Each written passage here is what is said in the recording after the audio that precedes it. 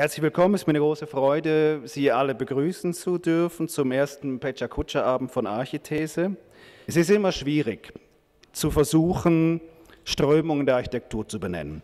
Und das gilt nicht nur für die Schweiz, sondern es ist ein Thema für Europa allgemein. Es ist nicht mehr so klar wie vielleicht noch in den 90ern. Es ist sehr diffus. Und ich erinnere mich, Emanuel Christ und Christoph Gantenbein haben mal gesagt in den Architekturdialogen, wir sind in einer Zeit von Everything Goes. Das heißt, alles ist möglich, jeder macht, was er will, jeder hat seine eigene Position im Moment. Und das macht uns natürlich als Theorieheft unruhig, weil wir suchen eigentlich nach gemeinsamen Stoßrichtungen, wir suchen nach gemeinsamen Themen. Und wir haben jetzt das Gefühl, dass wir etwas gefunden haben, wo wir uns wagen könnten, wieder so eine Diskursverdichtung ähm, zu benennen. Wir sind vor über einem Jahr von einem deutschen Buchverlag angefragt worden, einen Beitrag zu schreiben für ein Buch, das heißt Schweizer Sensibilität. Und das fanden wir nicht sehr originell im ersten Moment, weil wir gefunden haben, da geht es einfach darum, die gängigen Narrationen aus den 90er Jahren zu wiederholen.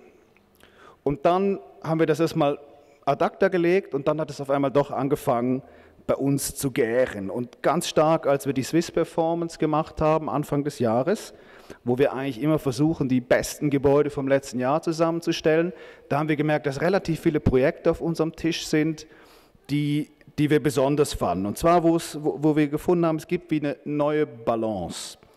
Ähm, und, und zwar was ich mit dieser Balance meine, kann ich vielleicht an einem Beispiel erklären, an einem Bauwerk, was wir nachher auch noch sehen werden. Und zwar ist das ein Kuhstall und Heuraum, der umgebaut worden ist zu zwei Wohnungen in Rüxau-Schachen. Ich hoffe, ich habe es richtig gesagt. Und zwar von Freiluft umgebaut. Der Martin Klopfenstein wird es uns nachher zeigen. Was wir da gesehen haben, ist, es ist eigentlich ein altes Gebäude aus Holz und mit Stein noch im unteren Bereich. Und in dieses Gebäude hat das Team von Freiluft dann eine baumartige Struktur eingestellt aus Beton, die eine sehr skulpturale Erscheinung hat. Und alt und neu sind da für uns auf eine recht prägnante Weise genau auf Augenhöhe gewesen. Weder das eine noch das andere spielt sich in den Vordergrund. Die sind irgendwie sympathisch komplementär. Und von dem ausgehend haben wir eigentlich immer mehr Projekte entdeckt, wo wir gefunden haben, es gibt einen recht starken Gestaltungswillen, aber es gibt im Moment auch ein recht starkes Interesse, sich zu kontextualisieren. Und genau das ist das Thema. Das ist genau unser Auswahlkriterium gewesen für heute Abend, dass wir versucht haben, solche Projekte zu finden und äh, haben danach entsprechend eingeladen. Es sind Neun Projekte, von denen elf, die gezeigt werden, sind fertiggestellt. Eines ist noch Work in Progress, eines ist geplant. Wir haben neun Projekte konkret nach Projekten gefragt und zwei haben die Bauwerke selbst gewählt. Gilbert Isermann hat Studium studiert an der ETH Zürich, hat 2004 äh, sein Diplom bei Bruno Krucker gemacht, hat dann 2004 bis 2007 bei Giganguya gearbeitet und ist seit 2007 im Team von Furimann Hechler Architekten. Seit 2012 ist er Partner. Und zu den Häusern, die er zuletzt gemacht hat, gehört das Künstlerhaus von Ugo Gondinone in Würenlos und das Haus in Bergeswil, was wir unter anderem auch in der Swiss Performance im März gezeigt haben in Archithese. Gut, auch ich möchte euch herzlich zu meinem kurzen Vortrag begrüßen und mich für die Einladung bedanken. Der Vortrag steht unter dem Titel Neues Feingefühl. Für uns ist dies aber nichts Neues. Wir gehen immer oder versuchen immer sensibel an neue Bauaufgaben heranzugehen. Dabei spielt die soziale Komponente stets eine wichtige Rolle. Wir befinden uns in der Kernzone von Segen am Halwiler See, direkt vis-à-vis -vis der Kirche. Durch die Nähe zur Kirche ist die Parzelle dem Ortsbildschutz des Kantons unterstellt. Wir sehen auf dem Schwarzplan die städtebauliche Setzung unser Neubauprojekt liegt etwa an gleicher Stelle wie, alte, wie der alte Stall. Äh, der alte Stall war einsturzgefährdet und wir wurden beauftragt, hierfür einen Neubau zu erstellen. Dieser Zweckbau inspirierte uns mit seinem großen Dach zum Entwurf. Es war uns wichtig, dass wir die typologische Erinnerung an ein Landwirtschaftsgebäude erhalten konnten. Die Typologie des Reihenhauses war aber nicht von Anfang klar. Wir suchten nach einem Gebäudetyp, der bei jedem Bewohner in allem in gleichem Maße profitieren kann. Besonnung, Aussicht, Balkone, privater Raum, gemeinsam genutzter Raum. Jedes Haus hat einen gleichwertigen Eingang. Fenster findet man nur auf den beiden Längsseiten, so entsteht kein Eckhaus. Die Gartenfassade, welche gegen Südwesten ausgerichtet ist, erkennt man wie sich das Gebäude öffnet. Die fünf Reihenhäuser sind unter einem großen Dach gestaltet. Das große Dach wiederum erinnert an die frühere landwirtschaftliche Nutzung der Parzelle. Am besten lässt sich das Gebäude im Schnitt erklären. Hier sehen wir den Schnitt durch, den, äh, durch die großen Einheiten. Wir sehen das Wohnen und, und, und, und Essen unten, oben die Schlafzimmer und, die, und äh, das Badezimmer. Auf der nächsten, auf dieser Folie sehen wir die kleinen Einheiten. Hier ist das äh, Wohnzimmer und, und Esszimmer oben, das Schlafzimmer und Badezimmer unten. Das dritte Zimmer befindet sich äh, überhalb, äh, oberhalb des, des, Carports, beziehungsweise oberhalb des, äh, des Eingangs. Unter dem Carport ist diese Rue Intérieure, das ist die äh, Begegnungszone, beziehungsweise einfach dort, wo, wo, die Wäsche stattfindet, wo die Keller sind. Man erreicht das nur durch, der, durch sein jeweiliges Gebäude. Die, kleinen, die drei kleinen Einheiten haben eine gemein, gemeinsame Waschküche, die großen eine eigene. Dies ist der Blick äh, in das Wohn-Esszimmer der kleinen Einheiten. Schön zu sehen ist die Abwicklung des Daches. Die mittlere Wand entstand durch statische Zwänge. Dieses ist eine Erdbebenwand, die wir dort äh, erstellen mussten, uns aber dann eine räumliche Komplexität auch äh, einbrachte. Hier ist der Blick in, die, in, in das Wohn-Esszimmer der großen Einheiten auf Gartenniveau.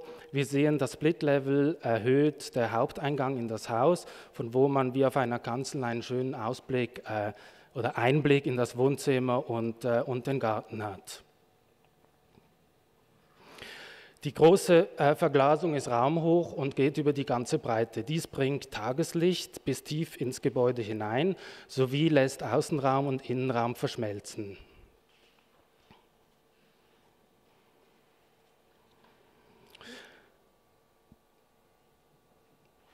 Auf dem Gartenniveau der kleinen Einheiten befinden sich das Schlafzimmer und dahinter dann das Badezimmer. Auch hier ist äh, die Veranda Teil des Außenraumes. Äh, der Innenraum fließt hinaus, der Außenraum wird Teil des Innenraumes. Als pittoreskes Element sei die, die Wendeltreppe genannt, die das Gartenniveau mit dem Obergeschoss verbindet.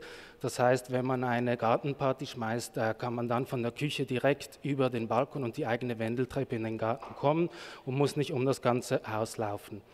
Materialmäßig haben wir am Boden einen eingefärbten Anhydrit, an der Decke Dreischichtplatten und an, Wende, an den Wänden Fermazellplatten.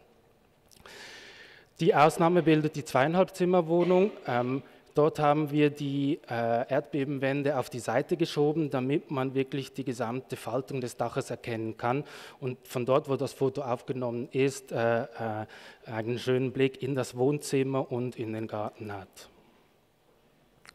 Im Grundriss sehen wir die alternierenden Wohnungen, klein, groß, also A ist die zweieinhalber und C und E sind die dreieinhalb, Wohnungen, dreieinhalb Zimmerwohnungen, B und D sind die sind die Familienwohnungen mit dem Wohnen und Essen auf Gartenniveau, sodass die Kinder draußen auch spielen können und, äh, und die Eltern das äh, äh, beobachten können. Im Obergeschoss sehen wir, wie gesagt, die Wohnung A mit dem halben Zimmer. Das ist bedingt durch den Grenzabstand. Wir sehen das als Qualität und nicht als, als Makel. Tageslicht kommt bei Wohnung B und D, also bei den Familienwohnungen, über das Oberlicht in, in das Treppenhaus, sodass auch hier keine Dunklecke entsteht. Auf der Gartenseite haben wir Outdoor-Vorhänge angefügt. Diese ähm, bilden eine sinnliche äh, Analogie zu den Welleternitplatten der Fassade sowie dienen der, der Einsicht und, äh, und, und, und dem Sonnenschutz. Als Fassadenmaterial haben wir Duripanelplatten äh, verwendet. Das sind zementgebundene Holzspannplatten, die vor allem im Brandschutz verwendet werden. Ähm, das unregelmäßige Muster oder, oder Färbung der Platten äh, bedingt eine, äh, eine Akzeptanz der Irregularität seitens des Architekten. Ähm, hier sehen wir diesen Carport mit der Deckenverkleidung in Duripanel und äh, der Wandverkleidung. Wir sehen, dass das sehr harmonisch mit den Ortbetonpfeilern und dem Betonboden zusammenpasst. Dieser Ort dient auch der sozialen, äh, äh, ähm, äh, dass man sich sozial dort trifft. Als letzte Folie, und dann ist mein Vortrag auch schon vorbei, ist noch ein Inserat der Bauherrschaft. Es gibt noch zwei freie Wohnungen, falls irgendjemand noch Interesse hätte, bitte melden. Danke für eure Aufmerksamkeit.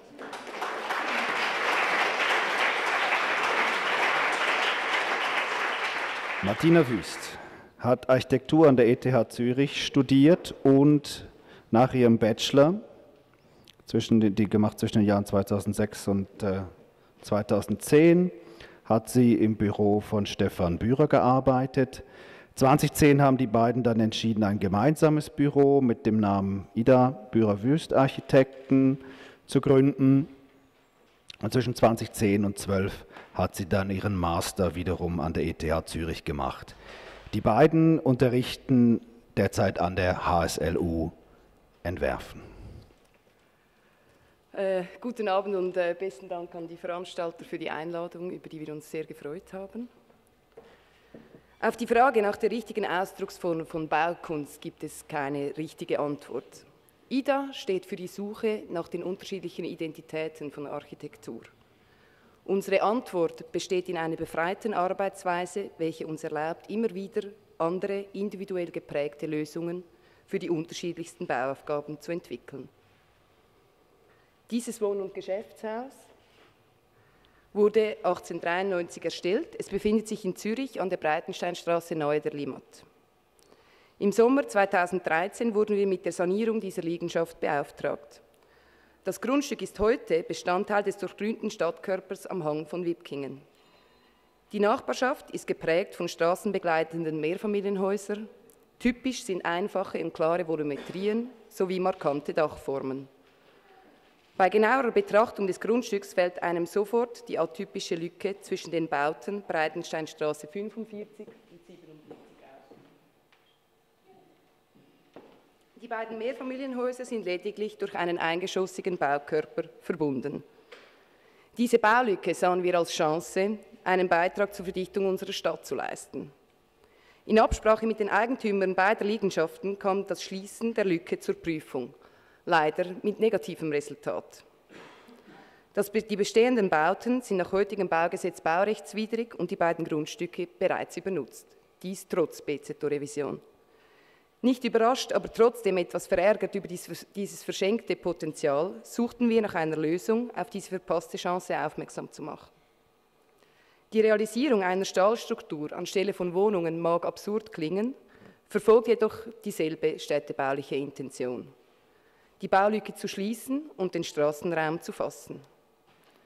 Die Volumetrie des Stahlbaus orientiert sich hierbei an der, an der im Quartier vorherrschenden Bebauung. Der Zwischenbau mimt also ein Haus, welches nicht gebaut werden darf. Die Gebäudestruktur soll als Zwischennutzung großzügige Terrassen der beiden angrenzenden Häuser beinhalten und bei einer allfälligen tatsächlichen Nachverdichtung zu Wohnungen ausgebaut werden. Das Tragwerk besteht aus einer Serie von Rahmen, welche sich zwischen den beiden Giebeln der anschließenden Gebäude aufreihen. Die Rahmen werden diagonal gestellt und überschneiden sich jeweils in den Schenkeln und im First. Durch diese Verschränkung können Horizontalkräfte sowohl in Längs- als auch in Querrichtung aufgenommen werden. Die bieg beanspruchten Rahmen werden nach dem Fachwerksprinzip in Druck- und Zugstäbe aufgelöst und ermöglichen so den hohen Grad an Filigranität des Bauwerks. Die Stäbe selber sind dabei nicht biegebeansprucht, sodass die Fügung der Stäbe in den Fachwerksknoten als einfache gelenkige Schraubverbindungen ausgeführt werden können.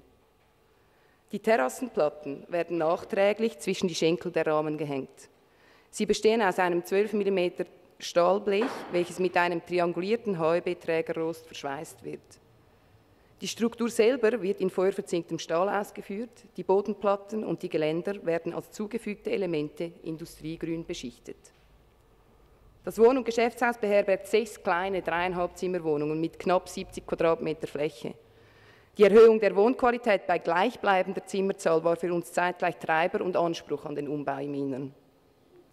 Das, die straßenbegleitende Zimmerschicht wird beibehalten, die kleinteilige Grundrissstruktur wird aufgelöst, das ehemals gegen Norden orientierte Wohn-Esszimmer wird neu von der Straße abgewandt und nach Süden hin orientiert. Ein neuer Infrastrukturkörper zoniert den loftartigen Raum an der Südfassade in Eingangsbereich Wohnen und Essen. Um einen möglichst großen Flächengewinn auf Ebene der Wohnräume zu realisieren, wird der Infrastruktur, Infrastrukturkörper selber möglichst kompakt gehalten. Sämtliche Medien werden innerhalb des Körpers gefühlt, bis hin zum Fernsehanschluss. Die plastische Ausformulierung des Körpers ermöglicht, auf die unterschiedlichen funktionalen Anforderungen differenziert zu reagieren.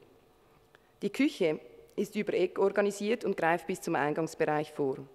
Ihr vertikaler Abschluss zur Linken sorgt für zusätzlichen Stauraum und artikuliert eine sanfte Trennung zwischen Wohnen, Kochen und Essen. Die Materialität des Körpers steht bewusst im Kontrast zum Bestand. Alle Schreinerfronten werden in wasserfestem MDF ausgeführt. Das Badezimmer befindet sich im Innern des Kubus und findet doch immerhin Platz für eine Dusche.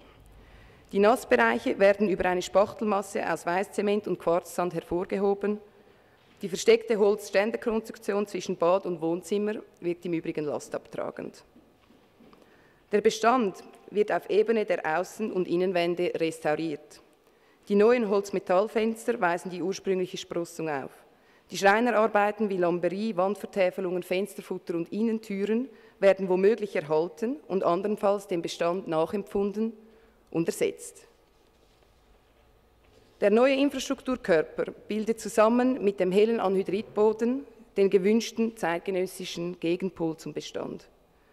Durch einen konzentrierten Eingriff wird das Spannungsfeld zwischen alt und neu aufgebaut, in dessen Mitte sich offene und unterschiedlich nutzbare Bereiche auftun. Im Dachgeschoss wird der Estrich im Bereich des Wohnzimmers aufgelöst. Der überhohe Wohnraum wird zusätzlich mit zwei Dachfenstern belichtet. Die verbleibenden Teile des Dachbodens werden neu direkt den beiden Dachwohnungen zugeschaltet und als Mansardenzimmer genutzt. Die unterschiedliche Nutzungsverteilung über die insgesamt fünf Geschosse zeigt die Qualitäten eines urbanen Gebäudes.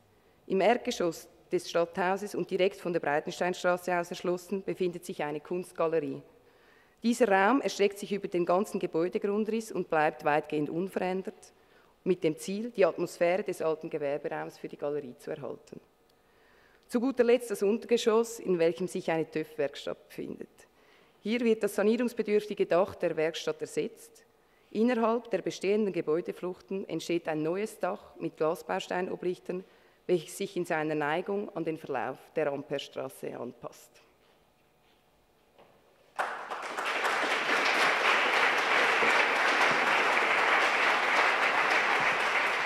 Danke, Martina. Ich darf als dritten Redner Martin Bühler vorstellen. Er hat 1987 sein Diplom an der ETH Zürich gemacht und von 88 bis 91 dort als Assistent gearbeitet. Er war Gastprofessor in Kopenhagen, Shanghai und Kairo und hat 2004 an der Universität Liechtenstein unterrichtet. 2005 gründete er Martin Bühler Architekten. Guten Abend und vielen Dank für die Einladung. Ich kann nun schon zum dritten Mal von meinem Haus erzählen. Die Zeit wird immer kürzer, das Thema umfangreicher. Heute Abend geht es um eine neue Tendenz und um das Einhalten von Zeit. Ich bin im Tierkreiszeichen des Krebses geboren. In Bezug auf meine Person ist Ihre Wahl also verständlich. Denn Feingefühl und das sinnlich Weibliche besitze ich durch meine Geburt.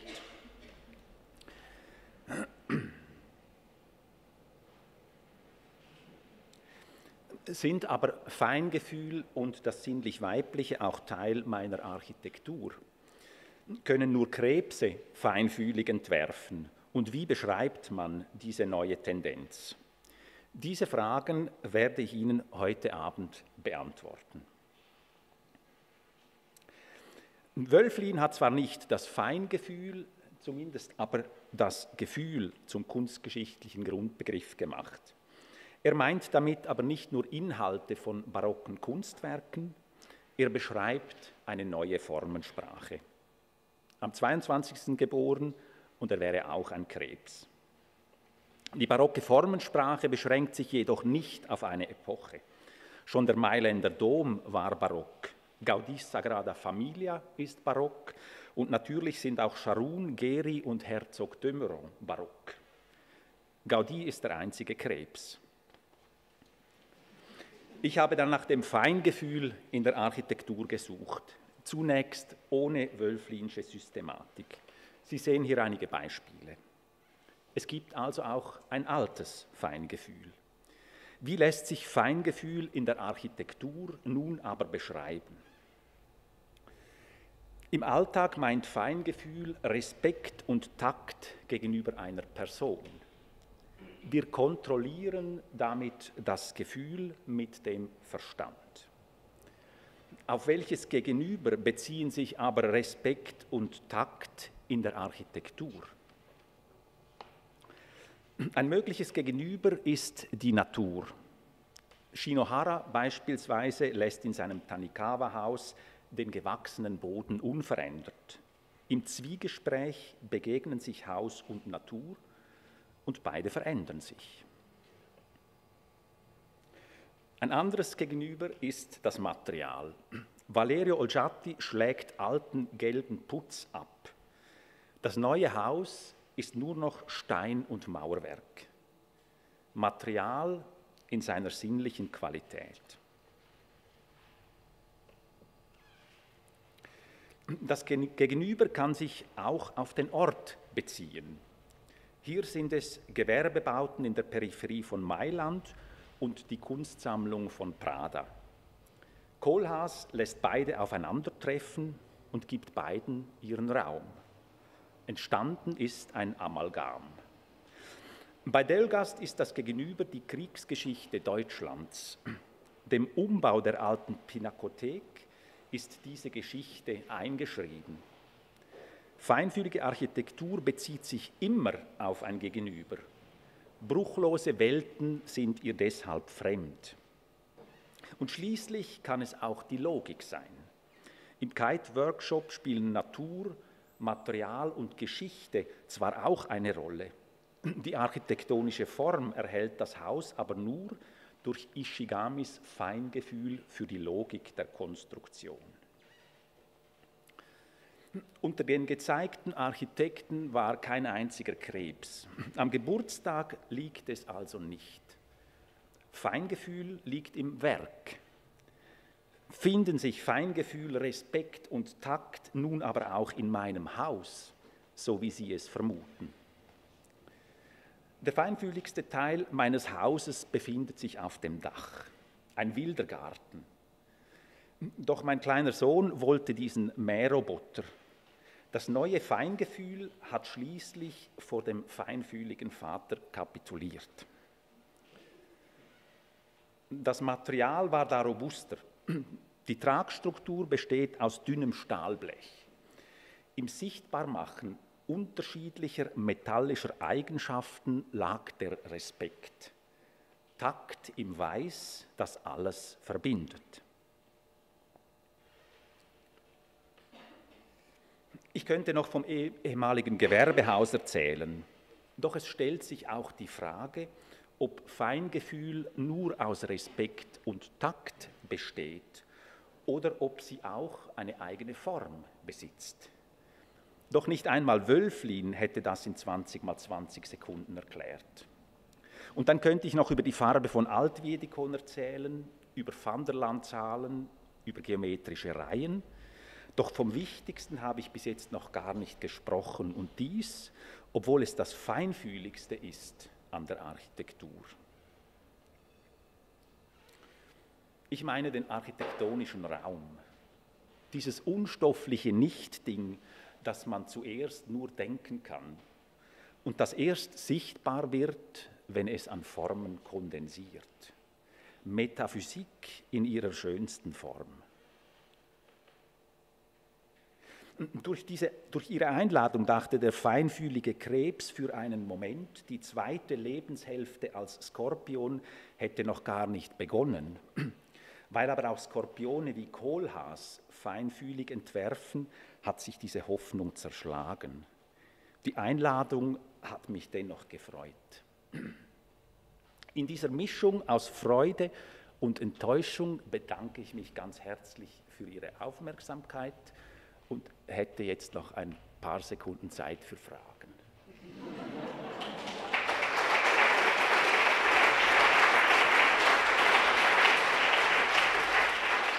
Ich darf äh, Tom Munz als nächstes vorstellen. Tom Munz hat an der Hochschule für angewandte Wissenschaften in St. Gallen und an der ETH Zürich Architektur studiert und führt ein Büro in St. Gallen. Er ist engagiert bei den Fachverbänden FSAI, das habe ich eben schon erwähnt, beim, He äh, beim äh, Heimatschutz sowie beim SIA. Tom, bitte. Hallo, schönen guten Abend. Wir haben eine Parallele, Sie werden es gleich sehen. Wölflin ist auch die Basis dazu. Der erste Teil eines Zitates von Sören Kierkegaard als Ganzes spannt es gleichsam den Rahmen für die nächsten Minuten auf. Zu den Themenfeldern kann Arbeiten in oder an vorhandenen Strukturen und Gebäuden helfen, komplexere und zugleich plausiblere Strukturen zu schaffen. Wir suchen, Reibungen für uns fruchtbar zu machen als Prinzip des Tertium non datur. Die Herausforderung beim Ersatzbau am Bodensee, den ich Ihnen heute zeige, lag für uns im Anspruch, den Gebrauchswert, die Konstruktion und den Symbolwert von Gestalt mit architektonischen Ideen zum Sprechen zu bringen, damit der Baukörper als bindungsschaffendes Moment im diffusen Kontext arbeiten wird. Was ist alt, was ist neu? Die Geschichte des Ortes aus dem Sehen, was Teil des Ganzen ist, und weiterführen. Dazu soll die Form allgemeinverständlich den Raum anregen und uns selber zurückwerfen auf innere Bewegung und innere Bewegung entzünden. Uns interessiert, was im Laufe der Geschichte jeweils die Anschauung, das Verständnis und somit die Produktion von Raum konstituiert, beeinflusst und gebildet hat. Hinzu kommt der Wille, mit den Mitteln der Architektur Antworten zu geben, die die partikulären und wechselnden Ansprüche unserer Gesellschaft überdauern. Aus dem dialektischen Prozess des Entwerfens dem Kampf ums Konzept und dem Widerstreit mit dem Bestand führte uns zu einer Arbeit in einem nicht festgefügten Zustand. Dabei verließen wir die immer gedachte Perfektion einer Lösung und legten die Prämisse auf das in der Architektur stattfindende Leben, auf die Gestaltung des Raumes, der an die Bedürfnisse sinnlicher und lebenspraktischer Anliegen ausgerichtet ist. Wissen und Handwerk des architektonischen Metiers steckten den Weg ab zwischen, zwischen Geist und Pragmatik. Wenig Ideologie für Kennerschaft der architektonischen Überlieferung. Wir haben die Frage, welche spezifischen Orte und Raumakteure dabei entstehen könnten und welche Konsequenzen sich daraus für die Benutzung, der, der, die, für die, Benutzung die Struktur und die Erscheinung der, von Architektur ableiten müssten, diskutiert und verhandelt. Daraus war für uns der Kontext Potenzial das steht wirklich etwa 100 Meter davon in ähnlicher Weise. Ich habe leider kein Foto, das ist fast das gleiche. Das steht aber in Paris. Das Existieren zu lesen und mit dem Konzept zu einer Essenz zu vermischen, ist Arbeit an einem selbst.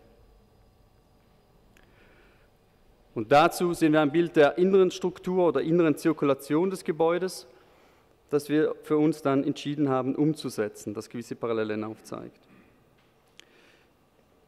Dabei zeigt die reflexive Arbeit oder respektive sie entscheidet letztlich über die gesellschaftliche Relevanz einer Architektur, die sich immer auf eine Realität bezieht, sogar dann, wenn sie diesen Kontext explizit verleugnet. Uns ist es wichtig, unterschiedliche Blickwinkel einzunehmen, zwischen ihnen zu moderieren.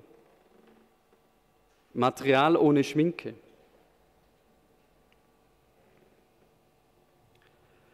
Architektur berührt uns, wir halten uns in ihr auf, sie umgibt uns. Sie besitzt Strahlkraft, sie stimmt uns ein. Architektur ist für uns Aktionsraum, für menschliches Handeln und wirkt durch ihre Gestalt und Charakteristik. Sich dessen Bewusstsein, es kritisch zu hinterfragen und adäquate Antworten darauf zu finden, ist daher neben anderen Faktoren wie technische Neuerungen Ökologie und Ökonomie, eng verknüpft mit der Entwicklung von unserer Architektur. Erkenntnisse verschiedener Spezialitäten synthetisieren und zu einem Ganzen fügen, in gewissem Sinne als Alchemist. Das heißt, die verschiedenen Regulatoren zu erfassen, gleichwertig zu bearbeiten und zu einer Synthese führen. Auch wenn wir den Ort nicht auf den ersten Blick verstehen, so ist in, ist in seinem Wesen inhärent, sich mit allem zu verbinden, was ihn umgibt. Mit anderen Gebäuden, Menschen, den Himmel, Bergen, Vögeln, Flugzeugen. Gebäude mit räumlicher Präsenz, überwältigender als die Präsenz des Objekts. Es geht darum, den Ort zu beleben, den Kontext zu vitalisieren, den Rahmen zu dynamisieren.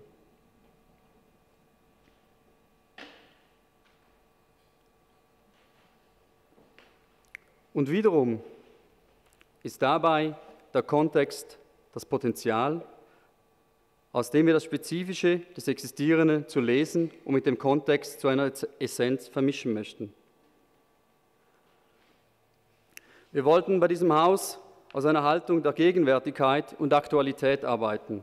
Aus dem überspannenden Gewebe suchten wir eine Möglichkeit, eine aufnahmefähige Architektur zu erreichen, Überschichtung, denn zwischen den Schichten ist Raum für Fantasie und Aktivität.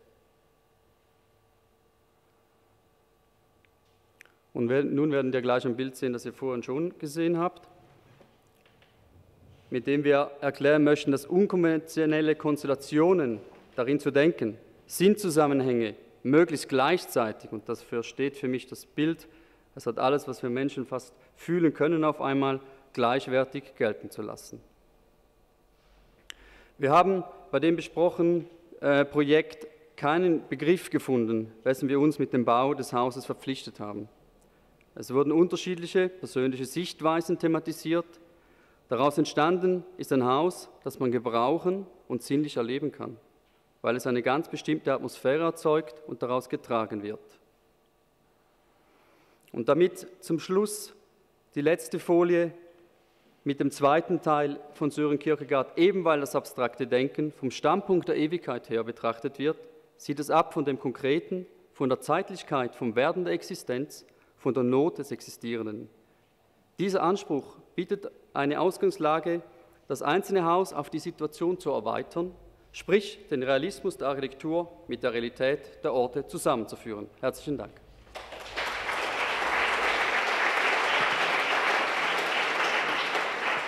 Als nächsten äh, Redner darf ich Ralf Blättler ankündigen. Er hat 1993 bis 2000 an der EPFL Architektur studiert und einen Teil von seinem Studium in London an der AA verbracht. Zwischen 2006 und 2008 war er selbstständig tätig mit einem Büro in Luzern wovor er 2008 mit Gilles Dafflon das Büro Blättler Dafflon gegründet hat. Er hat an der EPFL und an der ETH Zürich unterrichtet. Guten Abend. Ich äh, zeige euch heute Abend das Gemeindehaus in Meilen, das wir letztes Jahr fertiggestellt haben. Es trägt den Namen Mezzetino, das war das Kennwort des Wettbewerbes. Das Haus hat den Namen bis heute behalten. Mezzetino ist eine Figur aus der Commedia, de, Commedia dell'arte.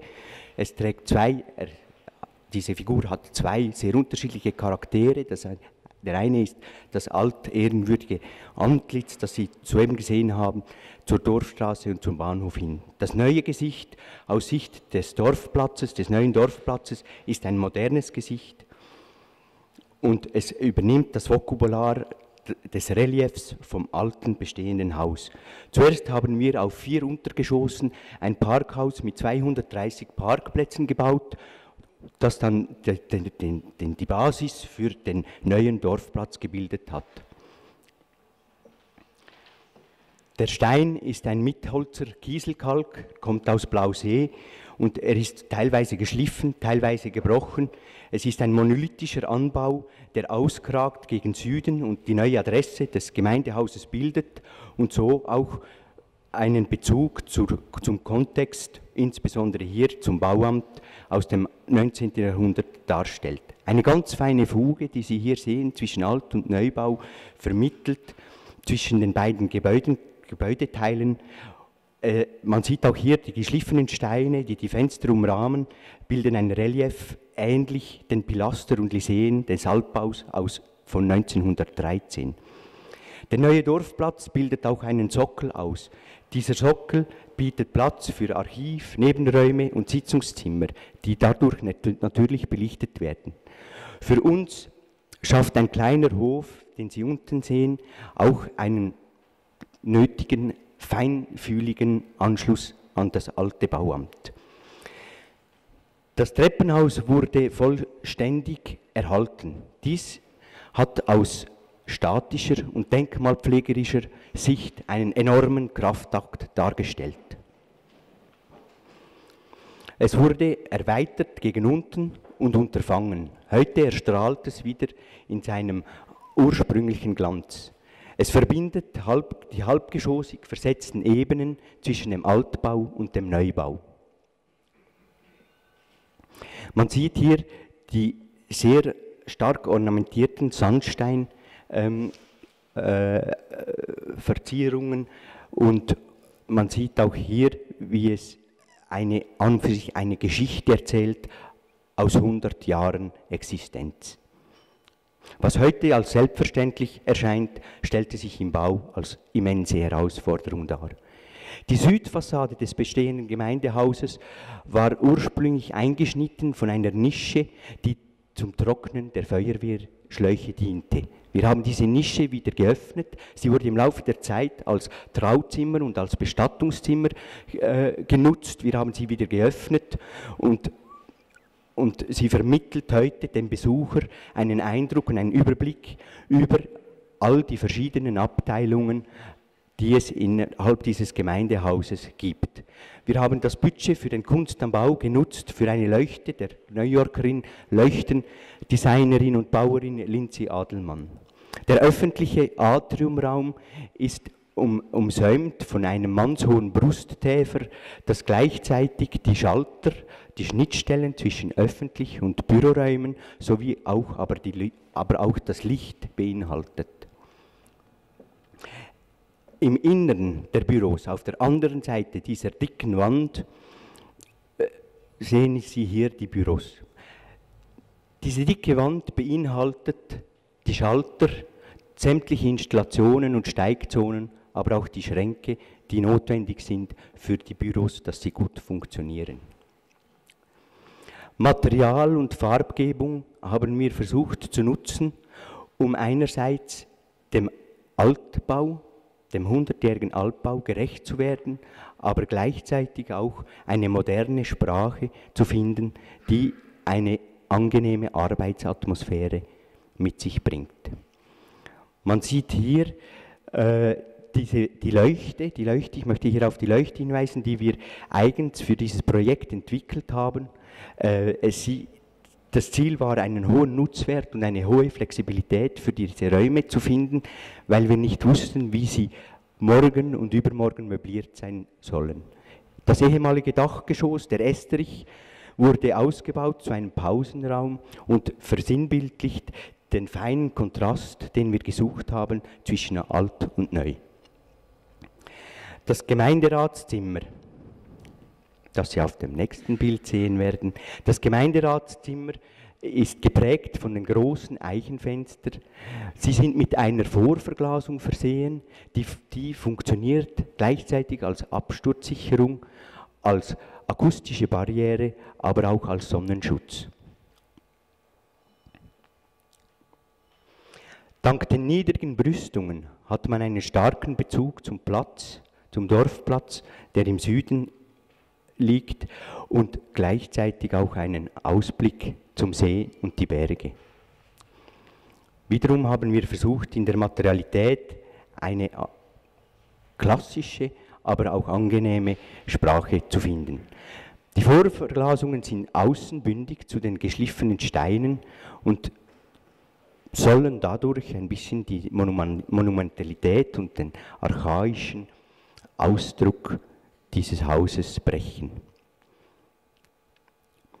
Zum Schluss zeige ich Ihnen einen Büroraum im Dachgeschoss. Er versinnbildlicht oder er zeigt für uns besonders unsere Suche nach einer Symbiose von alt und neu. Ich danke vielmals für die Einladung und für Ihr Interesse. Schönen Abend.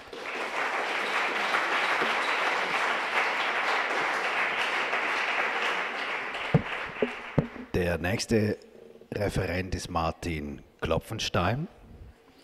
Er stammt aus Frutigen und hat in Mendrisio, Burgdorf und Dresden Architektur studiert.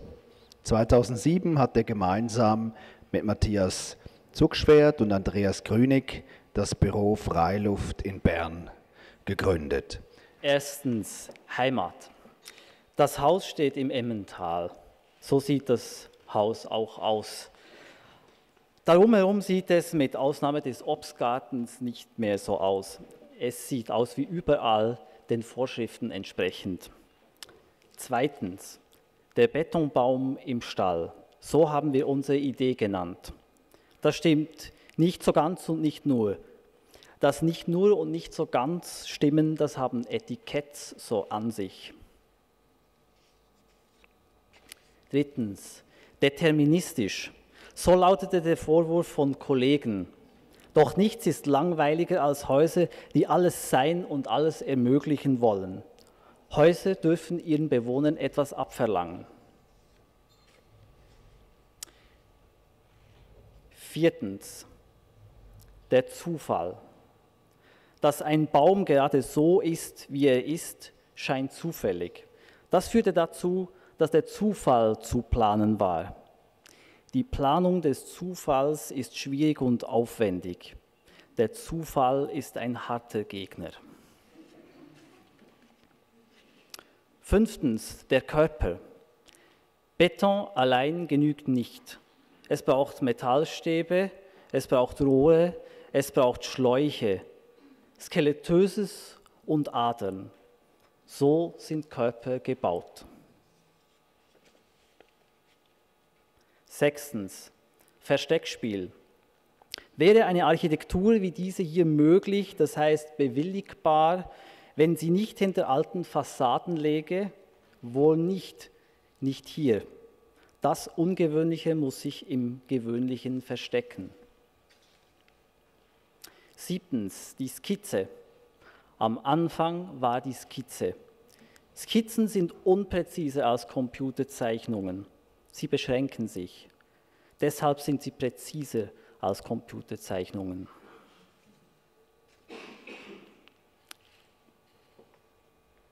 Achtens, Depafit. Depafit kaufen wir bei Peter Witwer an der Güterstraße. Er baut viele weiße Modelle für Architekten und viele farbige für sich selber.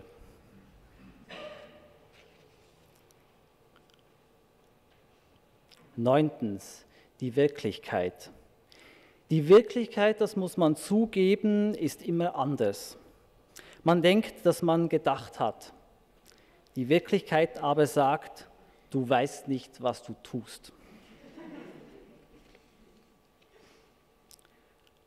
Zehntens, Patchwork. Das Alte, an dem man möglichst wenig macht, herumflickt anfalls, anpasst um eine Tür einzufügen und dergleichen.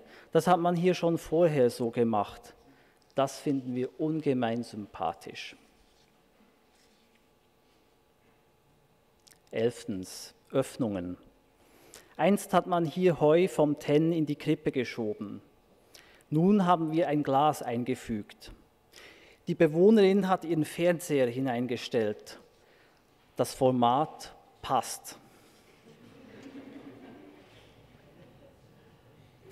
Zwölftens, die Vögel.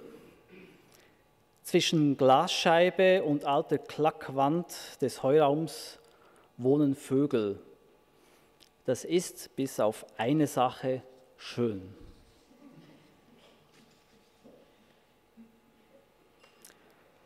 Dreizehntens, Dialektik. Außen Bauernhaus, innen die neue Welt.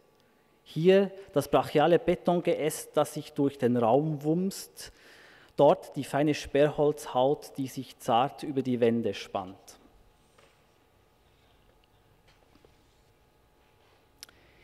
Vierzehntens Staunen. Als ich heute Morgen in eine Spinnwebe lief, wurde mir klar, vieles ist auf den ersten Blick nicht ersichtlich.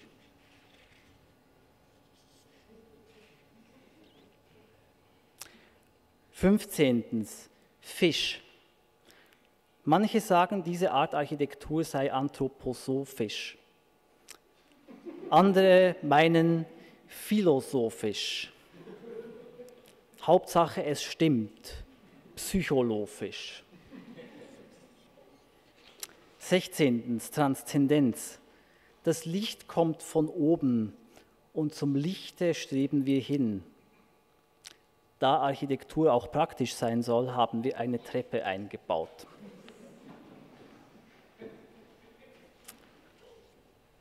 Siebzehntens Aussicht. Viele wollen Aussicht. Hier gibt es keine Aussicht. Es gibt nur Insicht. Das ist so, weil die Insicht anders als die Aussicht interessant ist.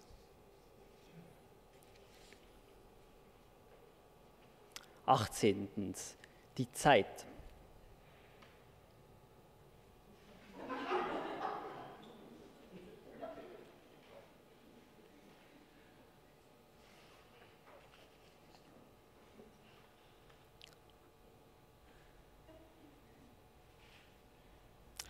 Neunzehntens Licht. Es braucht Licht. Wo es wie hereinkommt, darüber haben wir viel nachgedacht seitlich von oben gefiltert und so weiter. Eines aber war klar, zu viel Licht ist öd. 20. Der Schatten. Es braucht Schatten. Schatten zu konstruieren ist schwierig. Schwieriger als Licht. Vergesst das nicht. Dankeschön.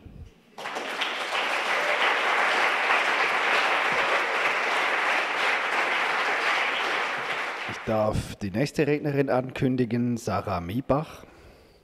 Sie stammt aus Bremen und hat 2008 an der Universität der Künste Berlin ihr Diplom gemacht. 2011 hat sie zusammen mit Rico Oberholzer aus Uster, Zürich, das Büro Miebach-Oberholzer gegründet. Sie war Assistentin an der ETH Zürich. Also vielen Dank für die einleitenden Worte und die Einladung heute Abend hier zum Pecha Kutscher Abend. Ich möchte noch kurz ein paar Worte zu unserem Büro sagen. Wir sind ein reines Wettbewerbsbüro. Bisher haben wir noch kein Gebäude fertiggestellt, haben aber letztes Jahr den offenen Wettbewerb für die Bezirksanlage in Winterthur gewonnen, in einer Arbeitsgemeinschaft zusammen mit Kunst- und Künstlerarchitekten. So hoffen wir, realisieren wir demnächst mal ein Gebäude. Ähm, heute Abend möchte ich aber einen anderen Wettbewerbserfolg von uns vorstellen, und zwar die Zentrale- und Landesbibliothek in Berlin. Äh, diese Bibliothek wäre die größte Bibliothek in Deutschland geworden. Es sind 52.000 Quadratmeter Nutzfläche und man ging von bis zu 10.000 Besuchern pro Tag aus. Es ist eine Bestandsbibliothek, die zurzeit in drei Orten in Berlin über die Stadt verteilt ist und die in einem Neubau beim Tempelhofer Feld ähm, jetzt ein neues Zuhause finden sollten. Die Stadt Berlin hat dafür einen offenen Ideenwettbewerb ausgeschrieben und äh, selbst uns als Wettbewerbsbüro hat dieses Programm, was da uns, äh, äh, auf uns zugeflogen kam, erstmal recht vor den Kopf gestoßen, weil es waren zehn DIN A4 gefüllte Seiten mit Raumgrößen von Einzelbüro 8 Quadratmeter bis hin zu Veranstaltungssaal 500 Quadratmeter, dazwischen jegliche erdenkliche Raumgröße und Raumanforderungen. Ähm, wie sind wir damit umgegangen? Wir haben uns überlegt, für dieses Raumprogramm brauchen wir eine ganz einfache Struktur. Wir brauchen eine Hülle, die wir damit bespielen können. Und so sind wir in einem, äh, bei einem rechteckigen Volumen angekommen, was von elf Kernen getragen wird. Diese Kerne haben quasi die ganze vertikale Verteilung aufgenommen und dazwischen haben wir alle Räume und äh, Raumanforderungen arrangiert und aufgefüllt. Ähm, gleichzeitig haben wir an einer Stelle ein äh, vasenförmiges Atrium geschaffen, was alle Ebenen vertikal miteinander verbinden sollte. und für die Bibliothek einen Begegnungs-, Bewegungs- und Kommunikationsraum geschaffen hat. Ähm, mit dieser Idee sind wir dann weitergekommen. Das heißt, wir haben zusammen mit sieben anderen Preisträgern den offenen Ideenwettbewerb gewonnen und waren als Teilnehmer gesetzt in dem Realisierungswettbewerb, der daraufhin folgte. Äh, gleichzeitig wurden 42 große internationale Büros per Präqualifikation nochmal dazugeladen. Sprich, wir waren in einem Pool wieder mit Zaha Hadid, äh, E2A, Dominique Perrault, GMP, Stab und so weiter und so weiter. Hm. Was vielleicht noch zu erwähnen ist, in diesem Prozess ist recht interessant, dass der Ideenwettbewerb öffentlich ausgestellt wurde und alle acht äh, Entwürfe nicht mehr anonym waren. Wir haben dann versucht, unser Konzept, unsere Idee weiter zu verfeinern, haben diverse Studien gemacht und haben versucht, diese statische Grundidee von den tragenden Kernen noch zu verstärken, haben aus den elf Kernen zehn tragende gemacht, die zusammen mit einem Decken Raster alle vertikalen Lasten übernehmen sollten. Das Zweite, was wir getan haben, wir haben auf diesen äh, Atriumsraum verzichtet an einem Ort und haben stattdessen einen Atriumsraum meanderförmig durch das Gebäude wandern lassen, was gleichzeitig auch einen Bewegungsraum äh, gegeben hat, wie der Besucher das Gebäude äh, benutzen soll. Die Grundidee, dass wir dieses relativ komplexe Raumprogramm auf den Ebenen aufgeteilt und zwischen diesen Kernen als freien Grundriss aufgefüllt haben, haben wir weiter behalten. So sieht man im Erdgeschoss und ersten Obergeschoss das die öffentlichsten Funktionen, Foyer, Veranstaltungsbereiche. Dann kommen vier äh, Geschosse Freihandbibliothek und äh, die Bibliothek kann völlig frei hier ihre Räume und Lesezonen arrangieren und oben war das Magazin. Ähm, es gab eine recht große öffentliche Diskussion dann. Ähm, wir haben auch diesen Realisierungswettbewerb gewonnen. Es gab einen zweiten, ersten Preis, zwei erste Preise. Das zweite Büro war in der Präqualifikation dazugekommen aus Stuttgart, Kohlmeier und Oberst. Ähm, wie ging das weiter? Wir wurden, unsere zwei Büros wurden in einem VUF-Verfahren, was man in der Schweiz nicht kennt, in Deutschland aber gang und gäbe ist, eingeladen, den Zuschlag für diese Bauaufgabe zu bekommen. In dem VOF-Verfahren ähm, hat das dann keine Jury mehr bewertet, sondern die Stadt Berlin konnte frei einen Zuschlag geben. Gemäß einer Excel-Tabelle nach Punkten wurde man bewertet. Gleichzeitig mussten wir innerhalb von zwei Monaten ähm, diverse Abgabeleistungen erbringen, äh, wie zum Beispiel schon ein Terminprogramm, eine ähm, Mitarbeitereinsatzplanung, ein gesamtes Fachplanerteam, einen Baubeschrieb, eine Honorarauferte, einen Vertrag und alles Mögliche, was äh, rechter Wahnsinn war, zumal wir immer nur noch zu zweit waren. Ähm, die Frage ist, was macht man? Und wir haben uns dafür entschieden, da mitzumachen, weil es war natürlich für uns auch eine Riesenchance, überhaupt so weit gekommen zu sein.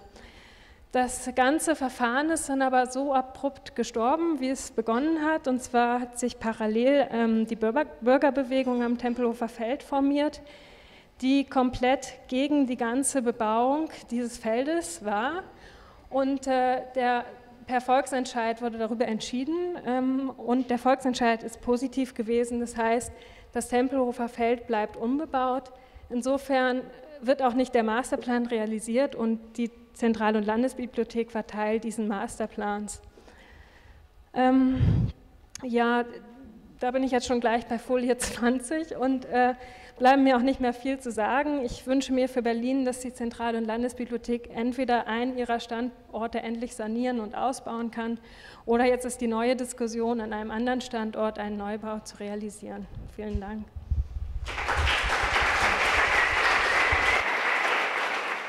Gut, ich darf äh, als nächste Referentin Caroline Fichter vorstellen. Sie hat Architektur an der ETH Zürich, äh, ETH Zürich studiert und zwischen 2002 und 2005 bei Hans Kollhoff, Diener und Diener sowie Miley Peter gearbeitet. Von 2005 bis 2007 war sie Entwurfsassistentin am Lehrstuhl von Hans Kollhoff an der ETH und seit 2006 führt sie mit René Salzmann ein Architekturbüro. Sie hält Vorträge und ist immer wieder zu Gastkritiken eingeladen. Also als Frau bin ich natürlich an sich sehr äh, feinfühlig und darum getraue ich mich, den Vortrag auch unter den Titel Die Grenzen der Feinfühligkeit äh, zu setzen. Das ist äh, das Zentrum von Hüdenberg, das ist ein Schulhaus aus dem Jahr 1904. Das mussten wir erweitern und sanieren aus dem Jahr 1974 und dann der letzte Teil aus dem Jahr 1998. Hier sehen wir die Situation 1953 mit dem alten Schulhaus aus dem Jahr 1904. Äh, sehr feinfühlig, wie das mit dem restlichen Dorfkontext zusammen äh, kommuniziert. Und äh, diese, dieser kleine Ort äh, mit den äh, Satteldächern, den weiß verputzten Häusern, die kommen zusammen. Hier sieht man die Siegfried-Karte aus derselben äh, Zeit. De, ein sehr kleiner Ort, ein Dorf mit wenigen Einwohnern, der auch von Bauernhäusern geprägt war.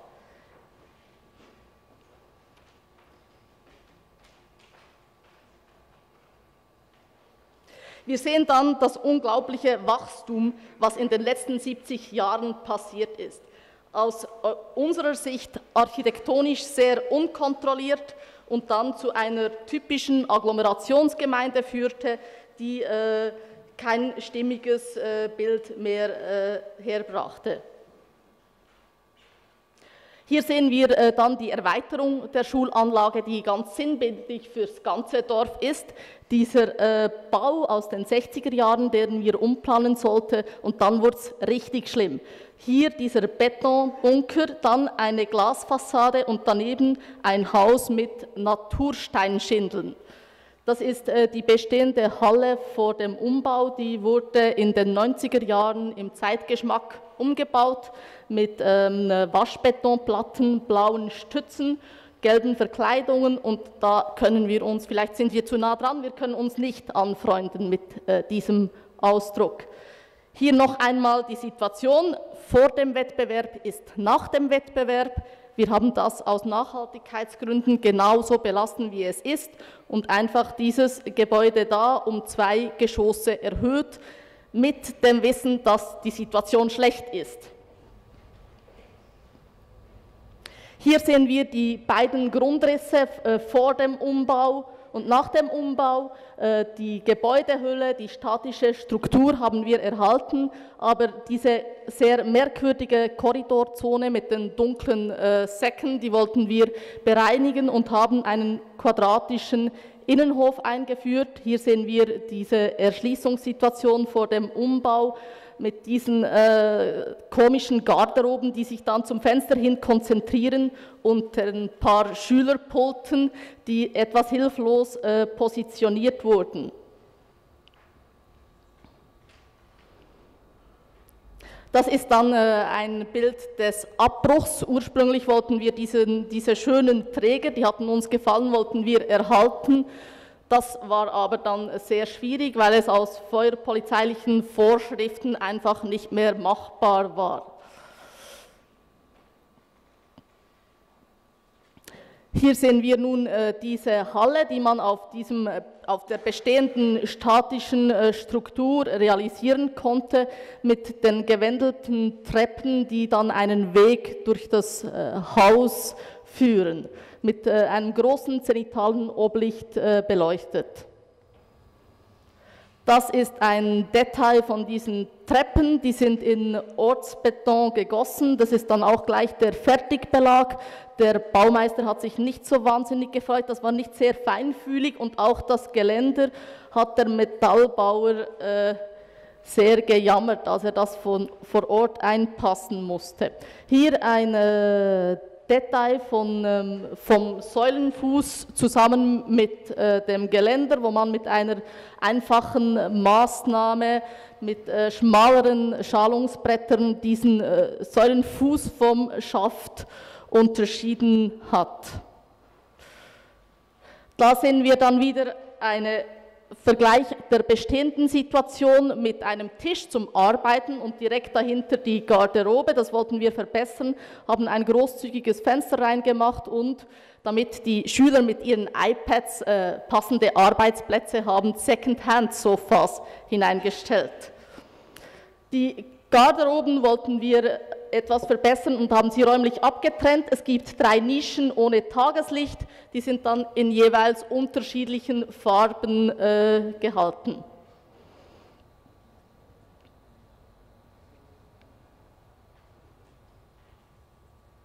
Das ist ein Klassenzimmer, das entspricht den heutigen Anforderungen nach äh, großzügigem Unterrichten. Immer zwei Gruppenräume, äh, zwei Klassenzimmer und ein Gruppenraum bilden eine Lernlandschaft. Die Brüstung auch hier tief, dass die Schüler während des Unterrichts schön rausschauen können.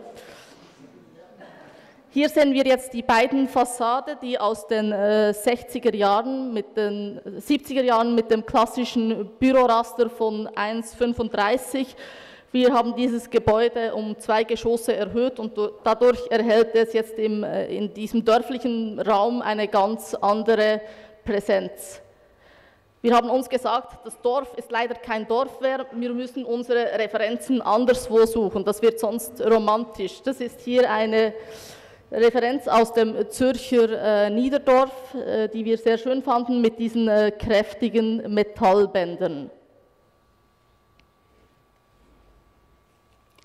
Hier sehen wir dann das Haus von außen auf äh, äh, der Erkenntnis, dass dieses Volumen schwierig ist, haben wir versucht, es mit äh, horizontalen Bändern stärker äh, zu einem Ganzen zusammenzubinden und dass diese äh, Fragmente dann wieder ein Haus mit einem Eingang werden. Hier als letztes dann noch ein äh, Detail der Fassade.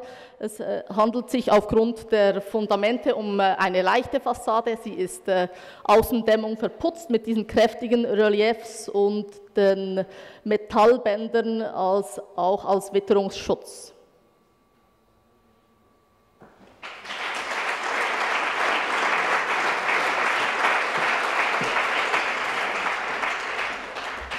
Als nächsten Redner darf ich Urs Meister ankündigen.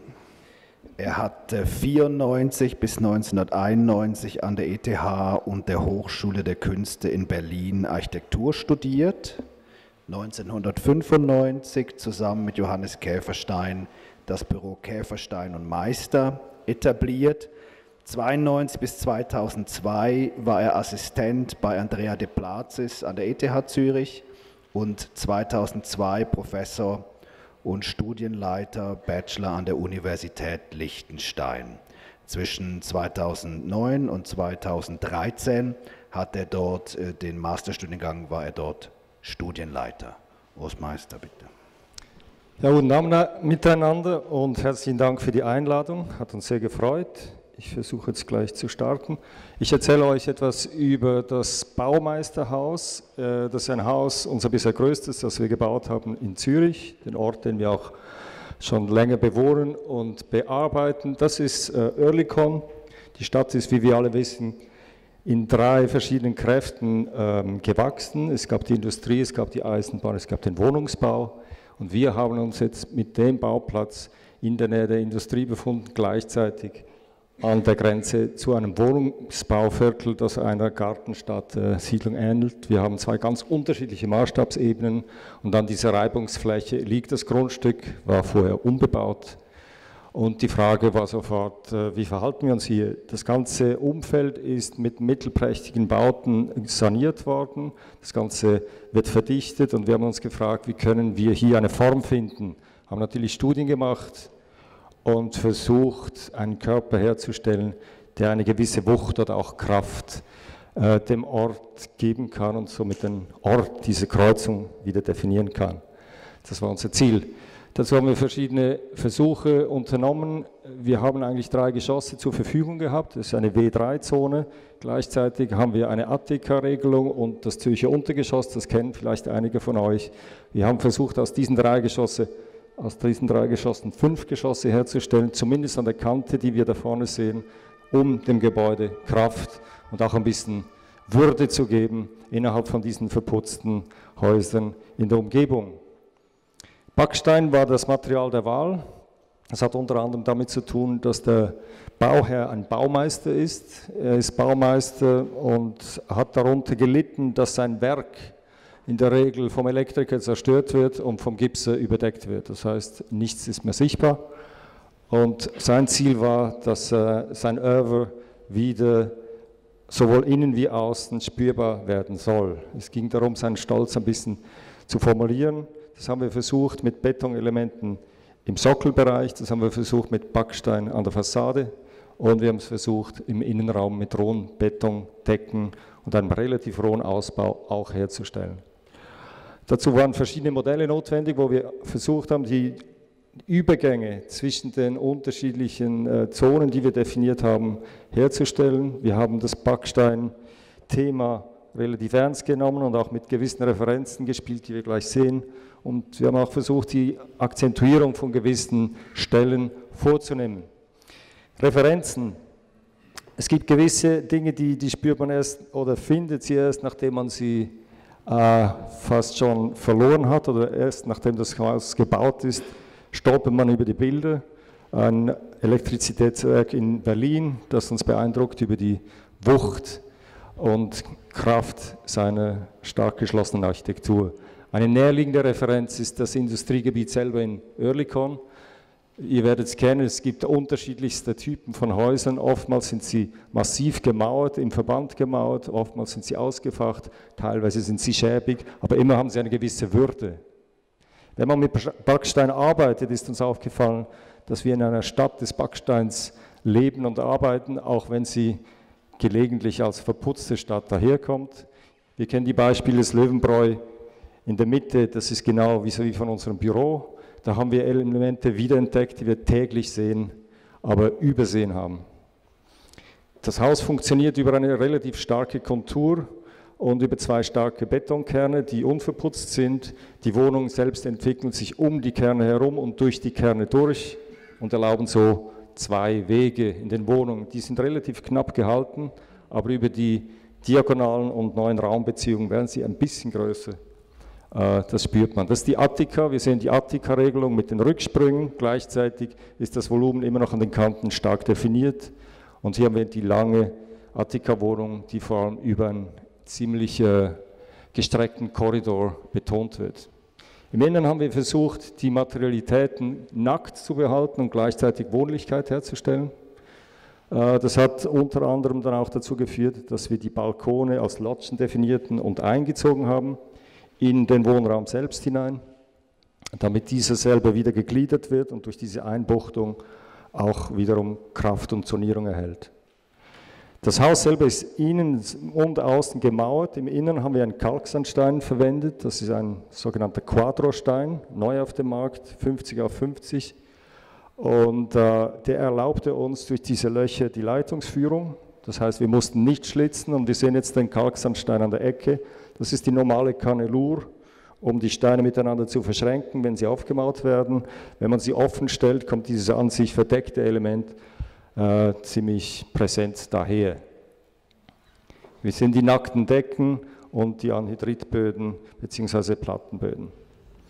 Louis Kahn hat es einmal schön formuliert, dass er gesagt hat, der Backstein hat sein Eigenleben und er sucht zum Beispiel den Arch, er will nicht den glatten äh, Concrete äh, Sturz, er sucht, er sucht den Bogen, er hat eine Widerspenstigkeit.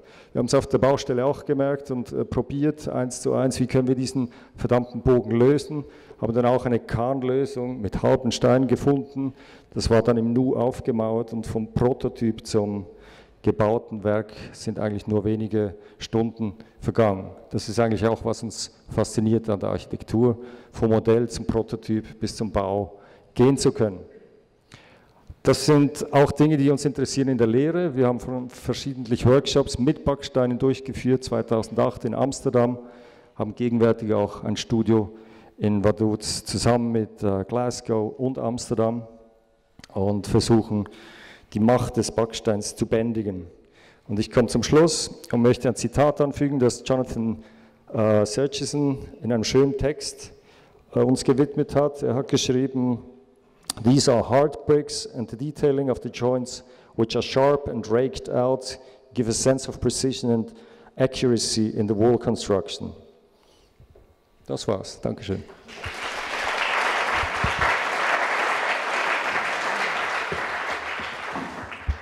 So, als nächsten Redner darf ich Sergio Marazzi ankündigen. Er ist ausgebildeter Schreiner und hat zwischen 2002 und 2007 an der ZHAW Architektur studiert und seit 2004 ist er Mitinhaber des Büro Marazzi Reinhardt in Winterthur, vormals auch bekannt unter dem Namen Band 3 Architektur. Willkommen. Guten Abend. Hans und Silvia wollen raus aus der Stadt hinaus aufs Land. Beim Spaziergang entschließen sie sich spontan, ein kleines, heruntergekommenes Haus in Beckingen zur letzten Station auf ihrem Lebensweg zu machen. Im Gespräch mit dem Besitzer ist rasch eine Lösung gefunden. Nicht mehr als einen Koffer wollen sie hinterlassen, wenn sie dereinst von dieser Welt gehen. Bis dahin Befreiung vom Ballast und Konzentration aufs Wesentliche. 400.000 Franken darf das neue Heim kosten. Dies ist der errechnete Betrag, welchen sie ansonsten für die Miete bis an ihr Lebensende bezahlen würden. Dialog. Bauen heißt auch, einen Dialog zu führen mit der Bauerschaft, mit dem Kontext, mit den Behörden. Es bildet die Basis eines Werkes. Wir verstehen es als unsere Aufgabe, den Dialog zu suchen und zu initiieren. Es darf durchaus kontrovers und mit harten Bandagen geführt werden. Die Rahmenbedingungen sind klar definiert und lassen große Freiheit zu. Die Grundbedürfnisse des Wohnens müssen abgedeckt werden. Es wird ein vernünftiger Umgang mit Ressourcen und Materialien gefordert. Schlussendlich soll der Wohnraum altersgerecht sein, um seinen Zweck möglichst lange zu erfüllen. Die vorgefundene Situation präsentierte sich unübersichtlich. Die Liegenschaft verschachtelt, das kleine Haus zugebaut. Die eigentlich repräsentative Nordfassade war beinahe komplett von einem Anbau verstellt. Die Riegelkonstruktion mit der charakteristischen Giebellaube war nicht zu erkennen. Das Haus zum Baumgarten stammt vermutlich aus dem 17. Jahrhundert. Es hat den Dreißigjährigen Krieg als eines der wenigen Häuser im Dorf überstanden dies vielleicht deshalb, weil eine Brandschatzung des einfachen Hauses nicht lohnend erschien. Im Dorf besitzt der Bau an der Verbindungsachse zwischen Dorfplatz und Kirche eine prominente Stellung. Respekt. Der Respekt vor dem Vorgefundenen führt uns in der Entscheidungsfindung. Das erarbeitete Wissen wird bewusst eingesetzt. Zugleich ist der Eingriff selbstbewusst das Resultat einer Überlagerung von Aufgabe, Bestand und unserem ästhetischen Gewissen. Um die Substanz nicht zu zerstören und um die Kosten im Griff zu haben, schlugen wir der Bauherrschaft einen Neubau vor. Dieser ist so ausgestattet, wie es ein Leben nach heutigen Maßstäben erfordert.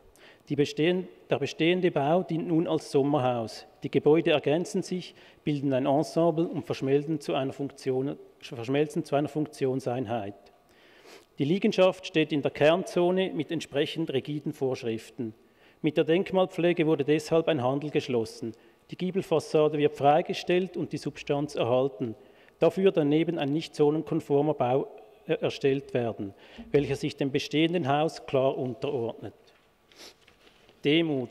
Demut bedeutet nicht, sich hinter der Geschichte zu verstecken, sondern diese anzuerkennen. Sie fordert auf, die Aufgabe, jedoch nicht das Resultat des eigenen Schaffens allzu wichtig zu nehmen. Wir sind, wir sind bemüht, die Aneignung der Bauwerke zu ermöglichen. Der Neubau bildet organisatorisch, strukturell und formal einen Kontrapunkt. Die äußere Erscheinung erinnert an Ökonomie, vielleicht an Gartenbauten. Die Verkleidung besteht aus sehr gerohen Brettern, welche durch ihre Anordnung eine zurückhaltende Ornamentik erzeugen und zugleich die Geometrie der Öffnungen widerspiegeln. Der Neubau duckt sich entlang der Baulinie hinter einer Geländekante. Er spitzt sich gegen Westen hinzu, steigt leicht an und öffnet sich gegen Süden. Durch die Rückversetzung gegenüber der Straße entsteht ein Vorplatz. Der unverstellte Blick auf die historische Fassade wird dank dieser Maßnahme freigegeben. Der gesamte Innenraum ist um einen Kern organisiert. Dieser beherbergt das Bad, eine Besenkammer mit Boiler sowie die Küche. Um den Kern gruppiert ist der Eingangsbereich, der Essplatz, der Wohnraum sowie die Schlafstelle. Alles ist in einer offenen Raumkonfiguration gelöst. Verantwortung. Das Bauwerk gehört auch seiner Umgebung. Der überprivate Charakter macht uns zu den Komplizen des Kontextes. Wir schulden dem Bauwerk und seinem Umfeld Rechenschaft. Die Bauaufgabe dabei im Zentrum, ist dabei im Zentrum des Denkens und Handelns. Gesucht wurde nach einer direkten ablesbaren Konstruktionsweise. Die Wände bestehen aus Holzelementen mit sichtbaren Konstruktionshölzern und eingesetzten Füllungen. Das Dach aus Vollholz. Wo immer möglich sind die Materialien unbehandelt, auf Leim und Schaum wurde verzichtet. Nur so viel Technik wie nötig. Ein extra entworfener Holzofen mit großem Speicher ist für die Wärmeerzeugung verantwortlich. Die Leitungen und Rohre sind aufputzgeführt. Die Verteilung von Strom, Wasser und Abwasser sind nachvollziehbar, einfach zu unterhalten oder bei Bedarf zu verändern.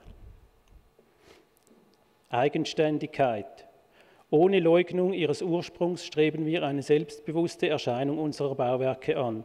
Sie sollen eigenständig, jedoch nicht vulgär sein. Manchmal entwickelt sich diese Kraft mit großer Geste, manchmal durch eine subtile Andeutung.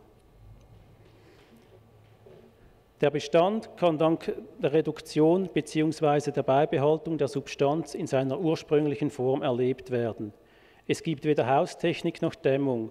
Die Bewohner nehmen Reparaturen und Unterhaltsarbeiten selber vor. Es findet eine intensive Auseinandersetzung mit der Substanz statt. Das alte Haus wird angeeignet.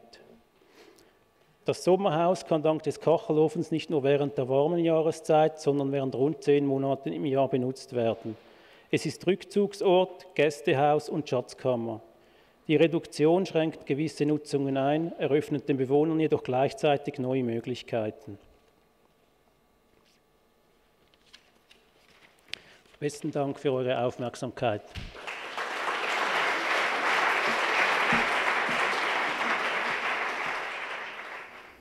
So, den grünen Abschluss darf Christian Scheidegger machen. Er hat äh, 1998 bis 2004 an der ETH Architektur studiert und hat es dann gleich geschafft mit der Diplomarbeit Kongresszentrum Leuk die ETH-Medaille abzusahnen. Ähm, er war Bauleiter bei Christian Keretz Schulhaus in Zürich-Leutschenbach. Er hat äh, 2009 dann zusammen mit Jörg Keller das Atelier Scheidegger Keller gegründet. Ähm, er unterrichtet an der ETH Zürich Architektur und Entwurf. Die Fotografie zeigt die Aussicht auf die Berner Alpen im Hintergrund und den Sarnersee im Vordergrund. Das Wasser ist die stille Fläche, zu welcher sich die Berge bewegen. Gleich wie die Wasserfläche ist die, Refer ist die Traufkante die Referenzlinie, zu welcher sich die innere und die äußere Topographie verwirft. Die Fassade ist unmittelbares Abbild zwischen Dach und Landschaft. In dem Haus spannt sich ein einziger großer Raum auf, der zugleich hoch und weit, offen und geschlossen, schwer und leicht ist. Die Tragstruktur ist auf das Minimum reduziert und steht im Innern des Raumes, sodass einzig die Glasfassade innen und außen voneinander trennt. Der See, die Berge,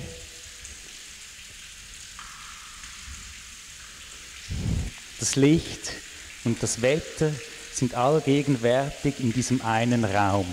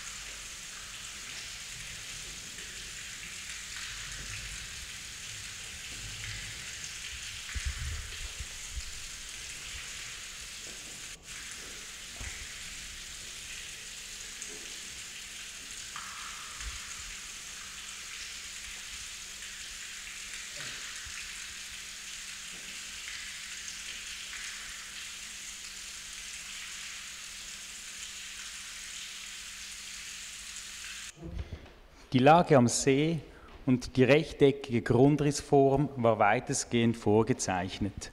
Außerhalb der Bauzone galt die Bestandesgarantie.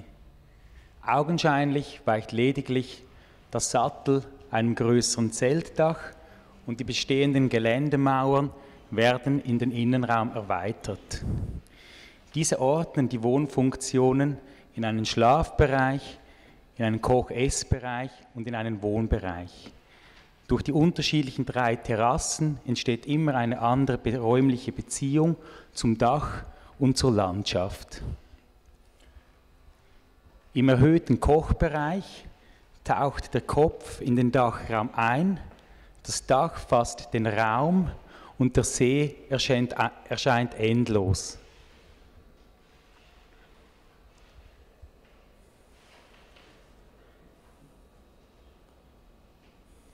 Der Wohnbereich ist leicht erhöht gegenüber dem Ufer aufgrund des Hochwasserschutzes.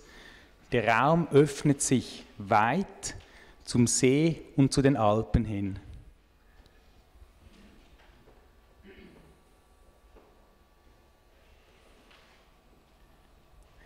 Die höchste Ausdehnung erfährt der Raum im Schlafbereich. Dieser ist gefasst von vier Wänden und der See scheint bis ans Haus zu fließen. Aus diesem Einraum wird ein komplexer Dreiraum. Die ganze Last dieses Betondaches wird, von zwei Y-Stützen getragen, welche sich als räumliches Stabwerk im Dach weiterentwickeln. Das flächige Dach und die lineare Stütze sind nicht mehr zwei unabhängig losgelöste Bauteile, sondern bilden eine organische Einheit. Die Fläche des Daches wird aufgelöst in lineare Überzüge aus Ortsbeton und vorfabrizierten Betonelementen, welche beide miteinander monolithisch vergossen werden. Ausgeschalt sieht man die Mächtigkeit dieser Struktur, eine Ansicht auf das Haus, welche uns nicht gefallen hat. Vielleicht ist sie zu plakativ, vielleicht ist sie zu dominant, vielleicht ist sie auch lediglich zu offensichtlich. Über dieses Bettendach legt sich eine feine, allseitige Kupferdeckung, welche die Stärke des Daches verbirgt. Und gleich wie die feine Traufkante oder gleich wie die Dachdeckung dieser Dachkonstruktion die Mächtigkeit entzieht, so verbirgt diese tiefe Traufkante des Zeltdaches den großen Innenraum. Und auf diese Weise, das ist vielleicht ganz im Sinn als um, ähm, What you see isn't what you get. Und auf diese Weise wird dieses kleine Haus am Sarnersee mit dem dunklen Schrägdach, dieser dunklen Fassade und dem hellen Sockel und seiner Ausrichtung auf den See selbstverständlich Teil dieser Kulturlandschaft. Im Innern jedoch ist alles sichtbar, die Logik der Konstruktion die feine zeltartige, das feine zeltartige Dach verwandelt sich in die skulpturale Kraft der beiden Stützen, welche frei im Raum stehen. Der Stützenfuß ist Ausgangspunkt und Form für den steinernen Boden. Diese kleine Bauaufgabe, nur einen einzigen Raum zu entwerfen, erlaubt die Konzentration auf die grundsätzlichsten Elemente. Die Landschaft, die Stütze, das Dach und der Boden. Vielen Dank.